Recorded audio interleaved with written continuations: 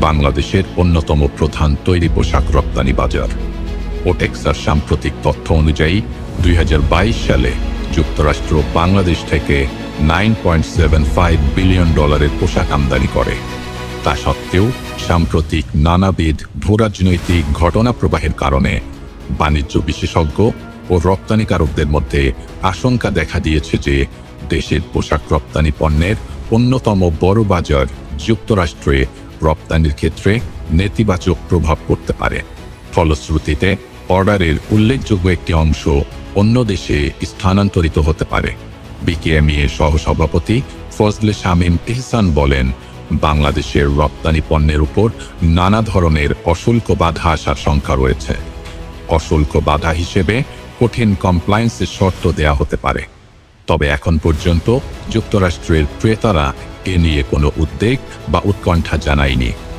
যদিও বিগত বছরগুলোতে যুক্তরাষ্ট্রে বাংলাদেশের পোশাক রপ্তানি ছিল ঊর্ধ্বমুখী, কিন্তু বিগত জানুয়ারি থেকে এপ্রিলে পোশাক রপ্তানি সতেরো দশমিক আট আট পার্সেন্ট কমেছে।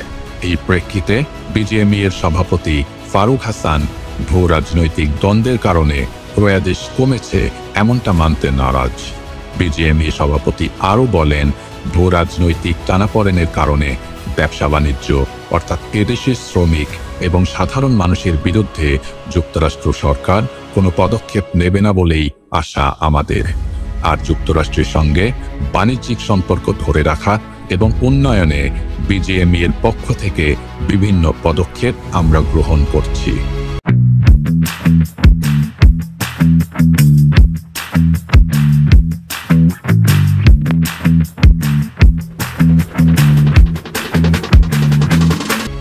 বাংলাদেশ তৈরি পোশাক শিল্প, যুক্তরাষ্ট্র, ইউরোপ সহ পৃথিবীর অন্যান্য দেশের ফ্যাশন ক্রেতাদের কাছে একটি আকর্ষণীয় সোর্সিং হাব এর প্রধান কারণগুলোর মধ্যে রয়েছে অপেক্ষাকৃত কম খরচ, নির্ভরযোগ্যতা এবং সহজ শ্রমের প্রাপ্যতা। একইভাবে বাংলাদেশ যুক্তরাষ্ট্রের পোশাক মার্কেটের নয় দশমিক আট শতাংশ দখল করে রেখেছে। বাংলাদেশের এই শক্তিশালী পারফরমেন্সের কারণ হিসেবে পোশাক রপ্তানিকারকরা, ভোক্তাদের চাহিদা ও ট্রেন্ডের সাথে বাংলাদেশের দ্রুত খাপ খাওয়ানোর ক্ষমতাকে কৃতিত্ব দিয়েছেন। নির্দিষ্ট সময়ের মধ্যে ভালো মানের ফাস্ট ফ্যাশন পণ্য উৎপাদন সক্ষমতার কারণে বাংলাদেশ ক্রমেই পরিচিত হয়ে উঠছে।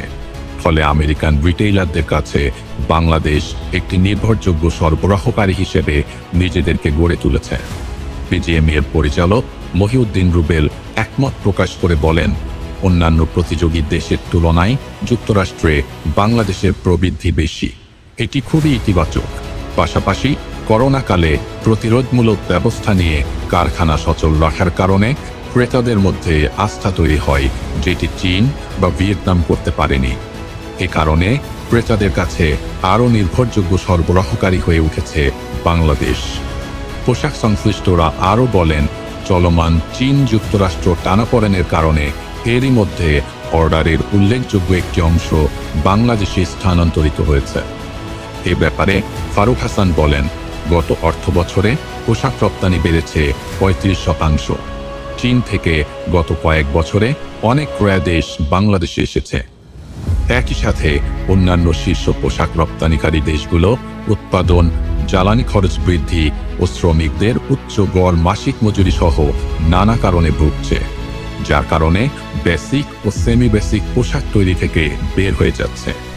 পাশাপাশি মার্কিন যুক্তরাষ্ট্র এবং ইউরোপীয় ফ্যাশন ব্র্যান্ড সমূহ চীন বিমুখতা ও নিরাপদ, স্থিতিশীল পোশাক উৎপাদনকারী দেশসমূহের দিকে ঝুঁকছে এবং তাদের বিনিয়োগ উন্নয়নশীল বাজারে ধীরে ধীরে সরিয়ে নিচ্ছে। উল্লেখ্য যে শীর্ষ পোশাক প্রস্তুতকারী দেশসমূহ ভিয়েতনাম, তুরস্ক ও ভারতের পোশাক রপ্তানি শিল্প নানা চ্যালেঞ্জের সম্মুখীন। যেমন ভিয়েতনামে টেক্সটাইল শ্রমিকদের গড় মাসিক মজুরি প্রায় তিনশো ডলার, যা অন্যান্য রপ্তানিকারক দেশের তুলনায় অনেক বেশি। তুরস্কে সাম্প্রতিক নানা প্রতিকূলতা, যেমন ভূমিকম্পে অবকাঠামোগত ক্ষতি, অনেক শ্রমিকের মৃত্যু, উচ্চ মুদ্রাস্ফীতিতে গার্মেন্টস এবং টেক্সটাইল শিল্পের অপূরণীয় ক্ষতি হয়েছে অন্যদিকে, ভারতের পোশাক শিল্পে উল্লেখযোগ্য কমপ্লায়েন্ট ফ্যাক্টরির অভাব অটোমেশনের অপ্রতুলতা সহ নানাবিধ চ্যালেঞ্জ দেশটিকে উপযুক্ত পোশাক উৎপাদন হাব হিসেবে প্রতিবন্ধকতা তৈরি করছে।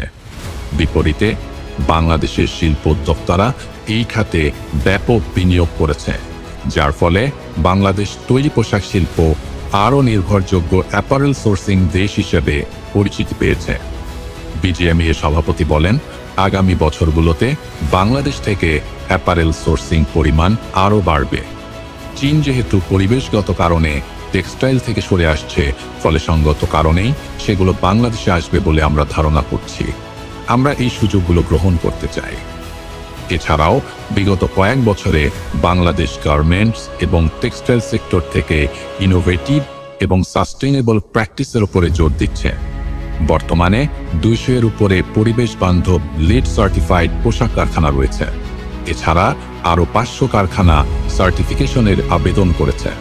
নিরাপদ কেমিক্যাল ব্যবহারেও এদেশের পোশাক শিল্প অন্যতম অগ্রগামী। যে বাংলাদেশ থেকে এটা চলে যাবে, যাওয়ার কোনো সুযোগ নাই। কারণ বাংলাদেশ এখন একমাত্র দেশ ওয়ার্ল্ডে হাইয়েস্ট স্ট্যান্ডার্ড আমরা মেনটেন করছি এবং আমি যেটা বলি সবসময় যে Bangladesh only the safest sourcing country এই মুহূর্তে। কারণ আমাদের হাইয়েস্ট সংখ্যক গ্রিন ফ্যাক্টরি প্লাটিনাম লিসার্ট গ্রেড ফ্যাক্টরি যেটা ওয়ার্ল্ডের সারা ওয়ার্ল্ডের গুলি একসাথে করলে, আমাদের অর্ধেকের কাছাকাছিও নাই। তো সুতরাং এইরকম একটা পরিস্থিতিতে বায়ারদের ফার্স্ট টার্গেট ফার্স্ট ইয়ে হচ্ছে চয়েস হচ্ছে বাংলাদেশ। একই সাথে একটি টেকসই সোর্সিং দেশ হিসেবে বাংলাদেশ একটি দায়িত্বশীল ল্যান্ডস্কেপ ইকোসিস্টেম গড়ে তুলছে, যা বিশ্বে বাংলাদেশ গার্মেন্টস শিল্পের ব্র্যান্ড ইমেজ আরও পোক্ত করেছে, যার ফলে আন্তর্জাতিক পোশাক ব্র্যান্ড এবং রিটেইলার সমূহ অব্যাহতভাবে এদেশ থেকে তৈরি পোশাক আমদানি করে যাচ্ছে। সবচেয়ে গুরুত্বপূর্ণ বিষয় হল পোশাক খাত সস্তা শ্রমের কম্পিটিটিভনেস থেকে বের হয়ে ইনোভেটিভনেসকে তার কম্পিটিটিভনেস হিসেবে অ্যাডাপ্ট করছে। যদি প্রতি বছর আমাদের সুতার ডিমান্ড টেন পার্সেন্ট ইনক্রিজ হয়, সেরকমভাবে কিন্তু স্পিনিংয়ের কিন্তু আমাদের বিএমআরই ইভিজেন্সি ডেভেলপমেন্টের দিকগুলো কিন্তু আসে। তা আমি বিশ্বাস করি নেক্সট চার থেকে পাঁচ বছর বাংলাদেশ স্পিনিংয়ে পলিস্টার ইয়ান এবং বিস্কোজ ইয়ানের জন্য ফিফটি পার্সেন্ট গ্রোথ হবে। এভাবেই ইন্ডাস্ট্রি, বৈশ্বিক এবং আভ্যন্তরীণ সব চ্যালেঞ্জ মোকাবেলা করে রপ্তানি প্রবৃদ্ধি ধরে রেখেছে এবং এই ইন্ডাস্ট্রির নেতৃবৃন্দ আশা করছেন যে বৈশ্বিক পোশাক অর্ডারের একটি উল্লেখযোগ্য অংশ বাংলাদেশ থেকে আসবে এবং এই ধারা অব্যাহত থাকবে।